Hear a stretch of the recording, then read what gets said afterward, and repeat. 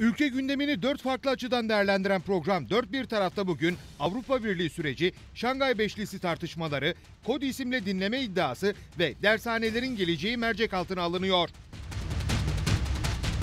Altan Öymen, Nazlı Ilıcak, Nagihan Alçı ve Kadri Gürsel'le dört bir taraf bu akşam 21.30'da.